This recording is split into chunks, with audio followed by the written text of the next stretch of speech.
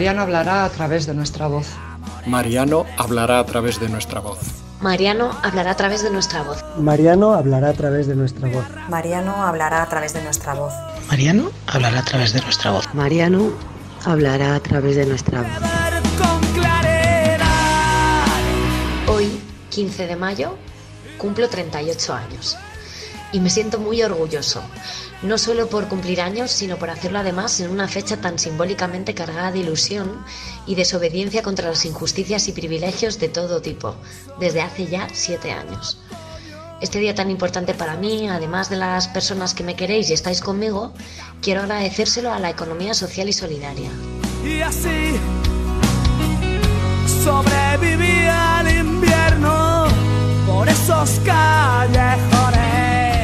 Se lo quiero dedicar no solo porque sea uno de mis pilares vitales desde hace años, algo en lo que creo, por lo que trabajo, lucho, comparto, sueño, discuto, respiro y abogo, sino especialmente por los ataques y difamaciones que las personas y cooperativas de la economía social madrileña llevamos semanas sufriendo despiadadamente, en una campaña mediatizada y orquestada en común por determinados medios de comunicación.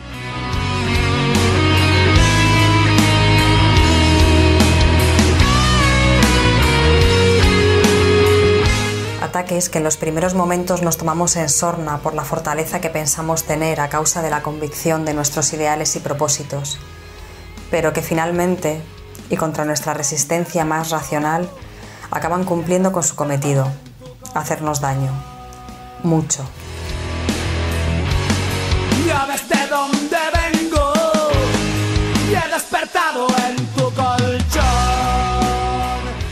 La impunidad con la que actúa la mediatización de la política, sin pruebas ni contenidos, genera rabia y desazón, nos apaga y entristece.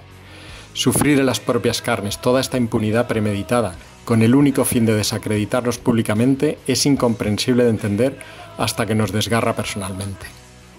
Pero por el mismo hecho, la vulnerabilidad y desnudez pública a la que nos arroja nos hace también descubrir esa red de cuidados que nos protege, nos arropa, anima y apoya a continuar, y de la que al final nos sentimos orgullosos y partícipes. Mi revolución eres tú. Mi revolución. Por eso quiero dedicar mi cumpleaños a todas aquellas personas, las que conozco y las que no, que intentamos, dentro de esta economía fundamentada en el robo estructural y sistémico, romper con la lógica de la competitividad, de la explotación, del individualismo, del egoísmo y de la miseria, el hambre, los refugiados, las guerras y los desastres ambientales que nuestra forma de consumir y producir, es decir, el sistema económico del que formamos parte, crea por todo el planeta.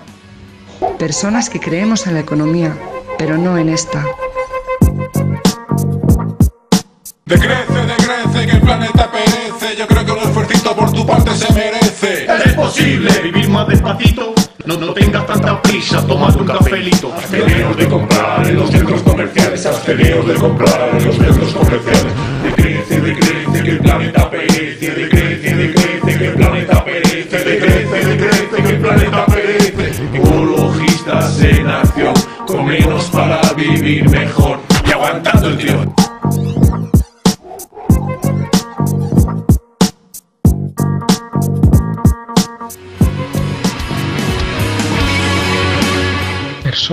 Que sabemos que una economía basada en lo colectivo, en la ética, en los cuidados, en el respeto, en el feminismo, en el ecologismo, en la solidaridad y en el apoyo mutuo, no solo podría funcionar, sino que además es esencial y necesaria para que podamos avanzar hacia la igualdad en un mundo abocado irremediablemente hacia una crisis ambiental, económica, energética y social de dimensiones inabarcables. Espacios públicos y centros sociales autogestionados.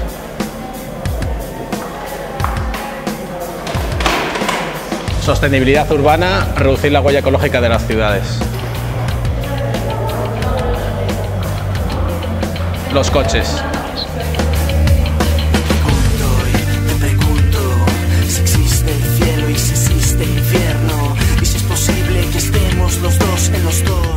Personas que antes de escribir un titular o un artículo del estilo que algunos periódicos están dedicando a la economía social, renunciarían sin pestañear a su puesto de trabajo e incluso profesión. porque no serían capaces de dormir por la noche ni mirarse al espejo.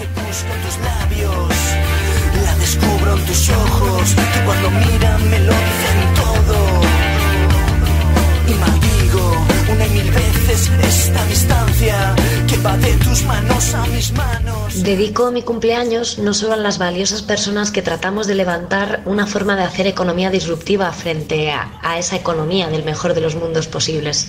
Personas que renunciando a las dádivas de la economía de mercado, hemos decidido tener sueldos similares a la mayor parte de la población, mileuristas, para impulsar aquello por lo que soñamos y queremos extender a cada vez más gente. Sobre todo en este caso de un transporte público electrificado. Esto es ir en la dirección correcta para Pero también os lo quiero dedicar a todas las personas que sin poder ser parte activa de la economía social, porque todavía esta es muy incipiente, sabemos que la apoyáis, que nos apoyáis.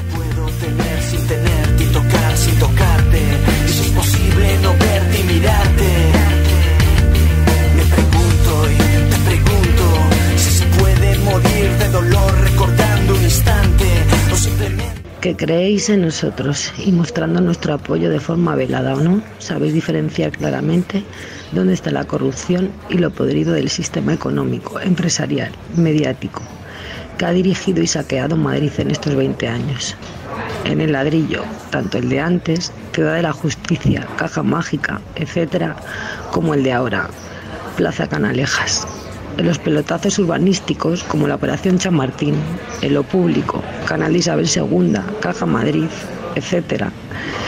En la gestión de los servicios públicos, contratos de limpieza, de servicios sociales, suministros energéticos y en las infra- infraestructuras como la M30 y los metros ligeros, los mismos que nos echan de nuestros barrios y casas de alquiler. Si el TTIP al final viera la luz, sería una traba absoluta para que estas políticas energéticas se pudieran poner en marcha. ¿Por qué? Porque al final el TTIP lo que hace es otorgar un poder ilimitado a las grandes empresas multinacionales vinculadas a las energías, como son las petroleras, como son las empresas mineras, como son las gasísticas. Con el TTIP, transgénicos a saco sembraremos por doquier y la ovejita Dolly tendrá muchos bebés. Pollito con lejía, qué limpito, hay que ver. Puedes imaginarte quién se va a vivir mejor. Ecologistas en acción, con menos para vivir mejor. Y aguantando el tirón. Esa es la auténtica, funcional y podrida red clientelar de esta ciudad, vinculada a las empresas y empresarios más grandes de este país, todos ellos con relaciones de amistad, sobres mediante y puertas giratorias, que han estado saqueando lo público y el bienestar de la mayoría de la población durante más de 20 años. Son estos agentes quienes gestionaron y siguen gestionando la mayor parte del dinero público madrileño.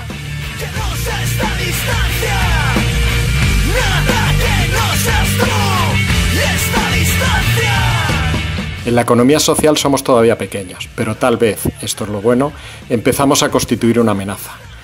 No por lo poco que representamos en términos económicos, sino porque nuestros valores, la profesionalidad, honestidad, ilusión y el respeto que vamos adquiriendo nos otorgan un reconocimiento social en auge frente a las estructuras empresariales opacas, verticales y corruptas de siempre y para los de siempre. Lo mismo quieran erradicarnos ahora que somos pequeños, pero no lo conseguirán. Lo que hemos pasado para la invitación es una pipa. Eh, ha ha habido gente, mucha gente me ha preguntado por qué esta pipa. No es que eh, vayamos a hacer un estanco, como podéis imaginar, nada por el estilo. Pero esta pipa venía un poco por el. Los asesores de comunicación nos recomendaron un cuadro de, de Magritte, del famoso cuadro de la pipa, la cual pintaba una pipa realista y esto no es una pipa, esto es una apariencia, ¿no? Pues bien, en este caso sí que es una tienda. Evidentemente es una tienda y la vamos a dejar siendo una tienda. Pero hay algo más, por lo cual os hemos convocado, pues es el grupo cooperativo Ciclos con Ley Latina. Sabemos que contamos con todas vosotras y nuestra lógica escapa a la suya. Así que todo mi reconocimiento a todas las personas que continuaremos, pase lo que pase, por lograr una economía y una sociedad para las personas y no para los privilegios de unos pocos y la miseria del resto. Y por supuesto, todo mi reconocimiento a mis compañeros y compañeras de ciclos, sin quienes este sueño que vamos construyendo entre todas sería imposible y sin quienes la economía social y solidaria, para mí, carecería de todo sentido. ¿Cuánto viviremos? ¿Cuánto tiempo moriremos en esta absurda derrota sin final?